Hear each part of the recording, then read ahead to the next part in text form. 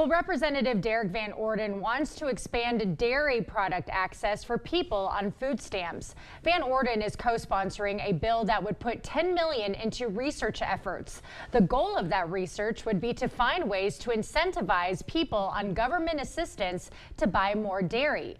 Van Orden has previously said he and his mother were once on food assistance while growing up. He expects this bill to get wide bipartisan support. I don't know who would vote against this because these programs have value. And I got to ask people, when did bipartisanship become bad? When people are like, you're going to have Democrats vote for this. I'm like, okay, guess what? Democrats eat too. The Supplemental Nutrition Assistance Program, or SNAP, gives eligible households a monthly food allowance. Feeding America reports more than 41 million people bought food using SNAP benefits last year.